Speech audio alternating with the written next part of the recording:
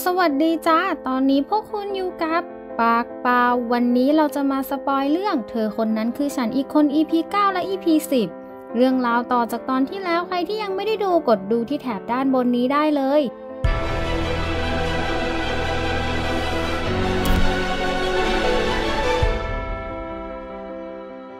เริ่มเรื่องกันที่ในห้องเรียนแก๊งหลังห้องมันก็รีบวิ่งเข้ามาในห้องพร้อมกับดีด้ากันใหญ่ แล้วมันก็รีบบอกกับเพื่อนๆทันทีว่าปีนี้ครูฝึกสอนเป็นผู้หญิง แถมสวยมากด้วย ได้ยินแบบนั้นก็ทำมาพวกนักเรียนผู้ชายในห้องพากันเฮกันอย่างกับไปเชียร์บอลอยู่ข้างสนาม ระหว่างนั้นเองครูคิวก็เดินเข้ามาบอกให้ทุกคนไปนั่งที่ แล้วก็พาครูฝึกสอนมาแนะนำตัวทันทีครูสาวขาวมวยคนนี้เธอชื่อว่าครูเมย์จะมาสอนวิชาคณิตศาสตร์นั่นเอง หลังจากครูเมย์แนะนำตัวเสร็จ พวกนักเรียนผู้ชายมันก็พากันเล่นมุกเสี่ยวกับครูเฮกันไปเฮกันมานึกว่าอยู่สนามแข่งเรือยาว ระหว่างที่ทุกคนกำลังประชุมมุกกันอยู่ครูเมย์ก็หันมามองไม้ในคาบมีนแล้วก็ยิ้มหวานๆไปให้หนึ่งที ตอนเลิกเรียนในขณะที่ไม้กำลังเดินกลับบ้านอย่างสบายใจ ทันใดนั้นเองพ่อของธิดาก็ดันหันไปเห็นไม้เข้า และเขาก็นึกไปถึงคำของธิดาที่มาฟ้องเขาทันที ว่าไม้คนที่เคยแกล้งเธอที่โรงเรียนเก่าทำเอาพ่อของธิดาถึงกับงงมากว่าเป็นไปได้ยังไงที่ไม้ยังมีชีวิตอยู่ แถมยังมาอยู่โรงเรียนนี้อีก ตัดมาตอนค่ำนาทีก็เดินมาแอบดูไม้ในคาบมีนที่หน้าบ้านเหมือนทุกวัน แต่ทันใดนั้นเองไม้ในคาบมีนก็ส่งข้อความมาถามนาทีพอดีว่าอยู่ไหน นาทีที่ได้รับข้อความก็รีบแอบข้างบ้านทันที เพราะกลัวมายจะรู้ว่าเขามาแอบดูอยู่ แถมยังโกหกไปอีกว่าอยู่หน้าโรงยิมมายก็เลยบอกว่าเธอจะไปหาที่หน้าโรงยิม นาทีเห็นแบบนั้นก็รีบสับตีนแตกวิ่งกลับไปที่โรงยิมโรงเรียนทันที แล้วก็ทำเป็นเดินออกมาจากประตูโรงยิมแบบเนียนๆ ไม่ถึง 3 วิมายก็เดินมาเจอกับนาทีพอดี นี่ก็ไวเกินคนหรือซุปเปอร์แมนกันแน่ แล้วทั้งคู่ก็มากินข้าวกันที่บ้านนาที โดยที่มีพ่อนั่งเป็นก้างขวางคออยู่ ในระหว่างที่ไมค์ในคาบมีนกำลังจะตักแครอทใส่ปากกิน นาทีก็งงมากเพราะปกติมีนไม่กินแครอทเลย แถมกินยากมากๆ ไมค์ในคาบมีนก็ตกใจมากเพราะกลัวนาทีจะรู้ความจริงก็เลยตีเนียนถามไปว่าปกติเธอชอบกินอะไรมาก นาทีก็เลยเล่าเป็นฉากๆ ตั้งแต่สากกระเบือยันเรือลบเลย ว่ามีนชอบกินอะไรไม่ชอบกินอะไร หลังจากที่ทั้งคู่กินข้าวกันเสร็จก็พากันเดินเล่นที่สวนสาธารณะยามค่ำคืนอีกแล้วไม้ในคาบมีนก็เกือบจะตกน้ำนาทีก็เลยจับแขนเอาไว้ แต่ก็ดันไปเห็นรอยแผลเป็นเข้า นาทีก็เลยถามว่าไปโดนอะไรมาไม้ก็เลยเผลอหลุดปากไป ว่าตอนสิบขวบเธอปั่นจักรยานล้ม นาทีที่ได้ยินแบบนั้นก็สงสัยอีกแล้วว่าความทรงจำมีนกลับมาแล้วหรอ แต่ก็ยังจำผิดอยู่ดีเพราะเขาเป็นคนสอนมีนปั่นจักรยานเอง แล้วอยู่ๆต่อมที่สงสัยในตัวนาทีก็ผุดขึ้นมา ภาพก็ย้อนไปในหลาย ๆ เหตุการณ์ ที่ทำให้เขาคิดว่านี่ไม่เหมือนมีนเลย ทางฝั่งของไมค์ก็เหมือนจะรู้ตัวแล้ว และทั้งคู่ก็ยืนสงบนิ่งกันอย่างกับยืนไว้อาลัยอยู่แบบนั้น สักพักไม้ในคาบมีนก็เดินหนีไปนาทีก็พยายามวิ่งตาม แล้วก็ถามไม้ในคาบมีนว่าเธอคือมีนใช่ไหมไม้ที่ได้ยินคำถามแบบนั้นก็ถึงกับน้ำตาคอเบ้าเลยตอบอะไรไม่ถูก นาทีก็เลยปล่อยตัวไม้แล้วก็บอกว่าอย่าใส่ใจที่เขาพูดเลย และทั้งคู่ก็แยกย้ายกันกลับบ้านไป ตัดมาที่บ้านพีทตอนนี้เขากำลังโดนแม่บัญชาการให้ฝึกทำข้อสอบอย่างหนัก แล้วก็โดนอบรมชุดใหญ่พร้อมกับบอกว่าอย่าให้หายไป 0.5 คะแนนเหมือนครั้งที่แล้วอีกทำมอพีทถึงกระทำข้อสอบไปพร้อมกับความเครียดเลยทีเดียว มาทางฝั่งของพ่อธิดา หลังจากที่เขาสั่งให้ลูกน้องเอาลายมือของไม้ในคาบมีนกับไม้ที่ปาจีนไปวิเคราะห์มา ก็ปรากฏว่าลายมือตรงกันซะยิ่งกว่าเอาตลับเมตรมาวัดซะอีก เช้าวันต่อมานาทีก็มายืนรอไม้ในคาบมีนอยู่ที่ข้างสนามบาสหน้าโรงเรียนเพราะไม้ไม่ยอมมาออกกำลังกายตอนเช้ากับเขาเหมือนทุกวัน พอไม้มาถึงก็พุ่งเข้าไปถามทันที แต่ไม้ก็อ้างว่าเธอตื่นสาย นาทีที่เห็นท่าทางก็เหมือนจะรู้ว่าไม้เป็นอะไรไปอีกแล้ว เขาก็เลยบอกให้ไม้มาออกกำลังกายเป็นเพื่อนเขาเหมือนเดิม ระหว่างนั้นเองกันเด็กห่วยก็เดินเข้ามาถามทั้งสองคนว่าไปไหนกัน เขาขอไปด้วย แต่ทั้งสองคนยังไม่ทันจะได้ตอบ ลูกบาสก็กำลังจะกระเด็นเข้ามาโดนตัวไม้พอดี นาทีกับกันก็แย่งกันจะปกป้องไม้แต่ก็เป็นฝ่ายของนาทีที่ไวกว่า ดึงตัวไม้ไปได้ทันถามอกันที่เห็นแบบนั้นถึงกับ fail มากแล้วก็เดินออกไป ตอนพักกลางวันไมล์เดินเข้ามาชวนแคทไปกินข้าวแต่แคทก็ไม่อยากไปเพราะเธอกำลังเซ็งเรื่องที่ไปออดิชั่นค่ายของลุงธิดาอยู่ เนื่องจากการออดิชั่นถูกเลื่อนแล้วถูกเลื่อนอีก ไม่เรียกตัวเธอไปสักทีธิดาที่ได้ยินแบบนั้นก็รีบโกหกทันทีว่าลุงเธอไปต่างประเทศก็เลยไม่ว่าง ตัดมาที่ธิดามาแอบโทรศัพท์หาลุง แล้วก็ถามว่าทำไมไม่เรียกเพื่อนเธอไปออดิชั่นสักทีแค่เรียกไปเป็นพิธีเฉยๆก็ได้ไม่ต้องให้ผ่าน ทันใดนั้นเองไม้ก็ผ่านมาเห็นพอดี แล้วก็ได้ยินธิดาคุยกับลุงทั้งหมดไม้ก็ไม่รอช้าเดินเข้าไปบอกกับธิดาทันที ว่าถ้าทำให้เพื่อนเสียใจเธอจะไม่ปล่อยธิดาไว้แน่ ขณะนั้นเองนาทีก็เดินผ่านมาข้างหลังไม้พอดีธิดาที่เห็นแบบนั้นก็ใช้เล่มันยาตีหน้าเศร้าเล่าความเท็จ บอกว่ามีนนอกจากเธอจะหน้าตาเหมือนไม้แล้วนิสัยยังเหมือนไม้ด้วยนะ แถมยังบอกอีกว่าตอนนี้เธอเริ่มสับสนแล้วว่าตอนนี้เธอคือมีนหรือไม้พูดจบก็ทำเป็นทักทายนาทีแล้วทิดาก็เดินออกไปนาทีก็เลยเดินเข้ามาหาไม้แล้วก็ถามว่าทะเลาะกับทิดาอีกแล้วเหรอ แถมยังบอกอีกว่าวันนี้มีนัดกันนะอย่าลืม แต่ไม้ก็ไม่กล้าสบตานาทีนาทีก็เลยเดินออกไป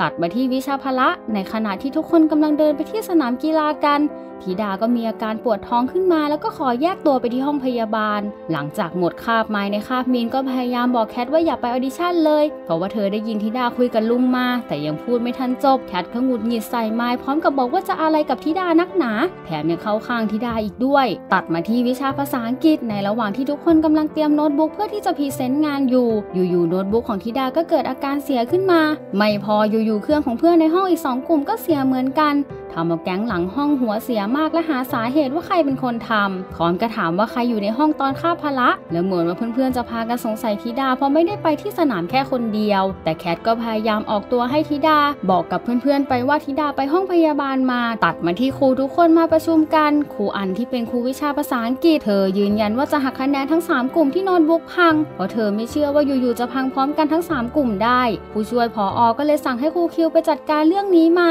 ต่อเลิกเรียนนาทีทีกับไม้ในคามีนก็มาเดินห้างตามที่นัดกันไว้ พอเจอตุ๊กตาก็โดดเข้าใส่เลยเพราะเธอชอบมาก นาทีที่เห็นแบบนั้นก็เกิดภาพในหัวอีกแล้ว เพราะเขาจำได้ว่ามีนไม่ชอบตุ๊กตา เพราะว่าเธอแพ้ฝุ่นมากๆ นาทีก็เลยถามไม้ไปว่าไม่แพ้ฝุ่นแล้วหรอไม้ที่ได้ยินแบบนั้นก็ถึงกับช็อตไปเลย แต่สุดท้ายเขาก็ซื้อให้อยู่ดี และก็คิดว่ามีนคงหายแพ้ฝุ่นแล้ว ในระหว่างที่ทั้งคู่กำลังเดินกลับไปที่ป้ายรถเมย์ก็มาเจอกันเด็กห่วยมานั่งอยู่ เพราะว่าทนแรงคิดถึงไม้ไม่ไหวไม้ที่เห็นแบบนั้นก็เลยถามไปว่ามานั่งทำอะไรตรงนี้ กันก็เลยตอบไปตรงๆ ว่านั่งรอไม้แต่พอรถเมย์มาปุ๊บนาทีก็ให้ไม้ขึ้นรถเมย์กลับบ้านไป โดยที่เขาขวางกันไม่ให้ตามไม้ไป หลังจากที่ไม้ขึ้นรถไปแล้วนาทีก็มาเคลียร์กับกันทันทีว่าจะตามมีนไปทำไม กันก็เลยบอกว่าถ้าเป็นมีนเขาไม่สนใจหรอก แต่มีนคนนี้ต้องการเขานาทีได้ยินแบบนั้นก็โมโหมากถามกันไปว่าพูดเรื่องอะไร มีนคนนี้คือคนละคนกันหรอให้บอกเขามา แต่กันก็ไม่ยอมบอกแถมยังบอกกับนาทีอีกว่าไม่ต้องสนใจเขาหรอกพูดจบกันก็เดินกลับไปแบบ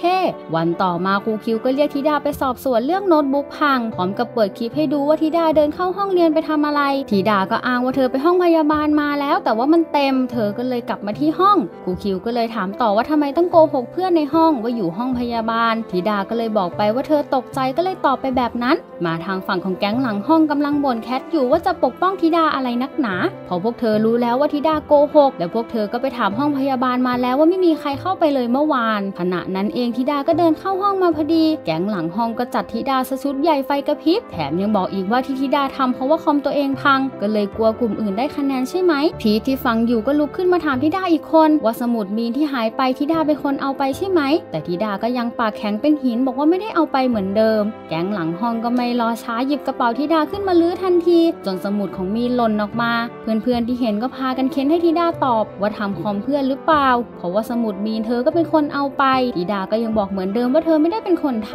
ำพร้อมกับเดินออกจากห้องไปหมายในคาบมีนก็เดินตามออกมาคุยกับธิดาทันที โดยที่มีหน้าที่แอบฟังอยู่หมายบอกกับธิดาว่าเข้าใจความรู้สึกที่ทำกับน้องสาวของเธอหรือยัง พอโดนกับตัวเองแล้วรู้สึกยังไงธิดาที่ได้ยินแบบนั้นก็ขึ้นคำหยาบใส่ไม้ทันที ว่าเธอไม่ได้กลัวและเธอก็ไม่ได้โกหกเรื่องคอมหมายก็เลยสั่งสอนไปชุดใหญ่แล้วก็เดินออกมา แต่ทันใดนั้นเองเธอก็เจอหน้าที่ยืนฟังอยู่พอดีทำเอาไม้ถึงกับสตันไปเลยนาทีถามไม้ว่ามีน้องสาวด้วยเหรอไม้ก็เอาแต่อ้ำอ้ำมืออึงตอบไม่ถูก นาทีก็เลยบอกว่าไม่เป็นไรเขาคงหูแว่วไปเอง วันต่อมาครูคิวเอาโน้ตบุ๊กไปให้ที่ร้านซ่อม แล้วก็เช็คว่ามันเกิดอะไรขึ้น ปรากฏว่าโน้ตบุ๊กของกลุ่มพีเสียจริง ๆ แต่อีก 2 เครื่องโดนลบ Windows ออก หลังจากนั้นครูคิวก็เลยพาครูเมย์มากินข้าว และเขาก็คิดว่าพีควรจะโน้ตบุ๊กเสียจริง ๆ ก็เลยไปลบ Windows ของเพื่อนออกเพราะว่ากลัวเพื่อนจะได้คะแนนไป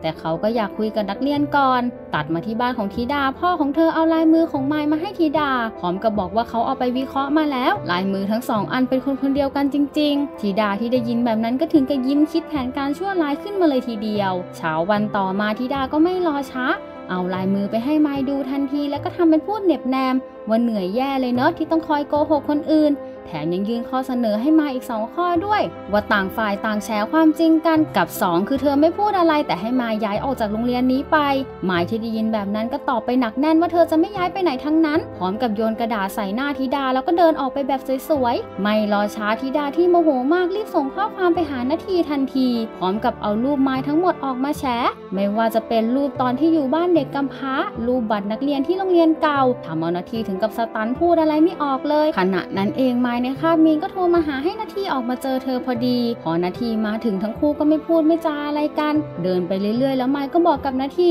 ว่าจริงๆ แล้วความทรงจำของเธอกลับมาสักพักแล้ว แต่นาทีก็ตอบไม้ไปแบบเย็นชาว่าก็ดีดิ แล้วนาทีก็เริ่มถามไม้ทันที ว่าเธอคือมีนใช่ไหมทำเอาไม้ในคาบมีนไม่พูดไม่ตอบอะไรน้ำตาไหลออกมาเลย นาทีที่เห็นแบบนั้นก็เหมือนจะเริ่มรู้แล้วว่านี่ไม่ใช่มีนที่เขารู้จักแน่ๆ พอไม้ไม่ยอมตอบเขาสักทีสักพักไม้ก็ขอโทษนาทีทั้งน้ำตา จนนาทีถึงกับน้ำตาไหลออกมาอีกคนเลยทีเดียว ยังไม่พอนาทียังถามไม้อีกว่าที่ผ่านมาหลอกเขามาตลอดเลยเหรอ แต่ไม้ก็ยังยืนร้องไห้ไม่พูดไม่ตอบนาทีเหมือนเดิม จนนาทีบอกให้ไม้ตอบเขามา ทันใดนั้นเองกันก็วิ่งมาจับแขนไม้แล้วบอกให้ไปกับเขา ทางฝั่งนาทีก็ไม่ยอมแพ้ดึงแขนไม้ไว้เหมือนกันพร้อมก็บอกให้การปล่อยแขนมีน กันก็บอกกับมีนว่าเขาบอกแล้วใช่ไหมว่าไม่ต้องทำอะไรทั้งนั้น ไม้ก็บอกกับกันว่าเธอจำเป็นต้องบอกกับนาทีเรื่องนี้ นาทีที่ได้ยินแบบนั้นก็ถึงกับปล่อยแขนไม้เลยเพราะเขาแน่ใจว่านี่ไม่ใช่มีนจริง ๆ ทางฝั่งของไม้ก็ดึงมือกันออกพร้อมกับบอกว่าให้กันช่วยกลับไปก่อนได้ไหม กันที่ได้ยินแบบนั้นก็ถึงกับเดินกลับไปแบบหน้าเศร้าๆ ทั้งๆที่ตอนนี้รักที่เขามีให้ไม้ก็ไม่แพ้นาทีเหมือนกัน หลังจากนั้นไม้ก็มานั่งเล่าทุกๆ เรื่องให้นาทีฟังว่าเธอไม่ใช่มีนพร้อมกับขอโทษทุกๆ เรื่อง แต่อยู่ๆนาทีก็พูดขึ้นมาว่าเธอพูดอะไรของเธอ เขาขอเวลาอีกหน่อย และนาทีก็ลุกเดินหนีออกไปเลยทำเอาไม้ที่นั่งอยู่ตรงนั้น ถึงกับร้องไห้ฟูมไฟเหมือนคนใจจะขาด วันต่อมาในห้องเรียนวันนี้นาทีไม่ยอมมาเรียน ในระหว่างที่ไม้กำลังเดินออกจากห้องทีดาก็เดินเข้ามาเยาะเย้ยทันทีว่าทำไมวันนี้นาทีถึงไม่มา แถมยังตอกย้ำอีก ว่ามีคนโกหกเขาแบบนี้เขาคงจะเสียใจมากๆ พูดจบธิดาก็เดินออกจากห้องไป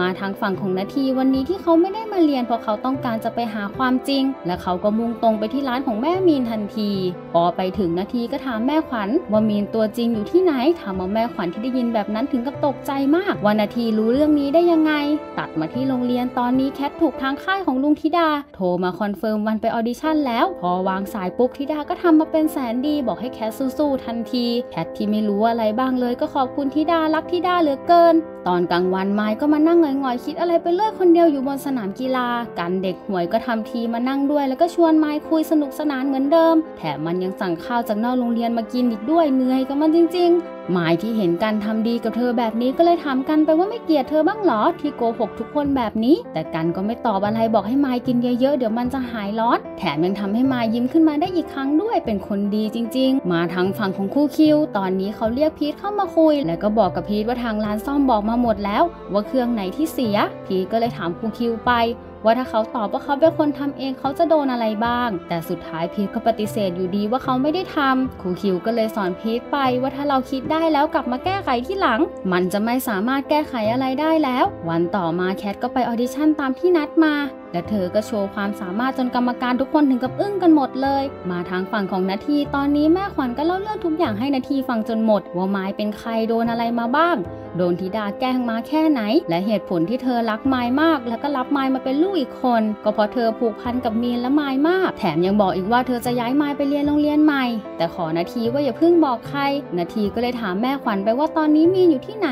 แม่ขวัญก็เลยยอมบอกไปตรงๆ ว่ารูปศพของมีนอยู่ที่วัดที่จังหวัดปาจีนพูดจบทั้งแม่ขวัญและนาทีก็น้ำตาไหลออกมาเป็นทางเลย ตอนมืดไม้ก็เอาแต่นั่งมองดูรูปของมีน แล้วก็นึกไปถึงเรื่องราวต่างๆ เช้าวันต่อมาเธอก็ตัดสินใจสะพายกระเป๋า แล้วก็ซื้อตั๋วรถบัสกลับปาจีนทันที พอไม้ไปถึงปาจีนไม้ก็เอาเหรียญทองที่นาทีให้เธอมาแขวนไว้กับมีนทันที พอเธอคิดว่าคนที่นาทีจะให้ก็คือมีนนั่นเอง แล้วไม้ก็ไปเห็นรูปที่ข้าวหอมเอามาวางไว้ให้เธอ พอข้าวหอมคิดถึงไม้มากๆทำเอาไม้ถึงกับเสียน้ำตาอีกรอบเลย ในระหว่างที่ไม้กำลังจะกลับก็เจอแม่ใหญ่และข้าวหอมกำลังมาไหว้ศพเธอพอดี แล้วไม้ก็เห็นทั้งสองคนร้องไห้คิดถึงเธออยู่แบบนั้น ก็ทำให้ไม้กันน้ำตาเอาไว้ไม่อยู่อีกแล้ว และเธอก็รีบเดินไปแอบหลังประตูโดยที่นาทียืนแอบมองอยู่แบบนั้น จบลงไปแล้วสำหรับเธอคนนั้นคือฉันนี่คนตอนที่ 9 และ 10 เป็นยังไงกันบ้าง ถ้าชอบก็อย่าลืมกดไลค์กดติดตามกดแชร์เพื่อเป็นกำลังใจให้เราด้วยนะ และอย่าลืมกดกระดิ่งจะได้ไม่พลาดคลิปสนุกๆจากช่องเราบ๊ายบาย